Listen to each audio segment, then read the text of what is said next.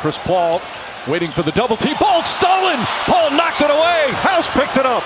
Here comes Harden. Shot clock off. Harden steps back, puts up a three. Won't go. Rebound goes to Paul.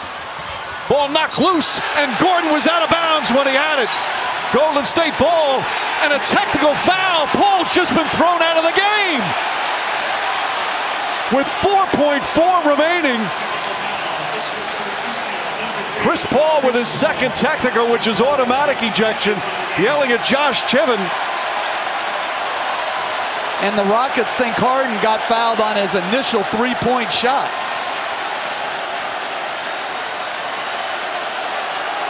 So Golden State will get a one-shot technical. That could increase it to four with 4.4 remaining.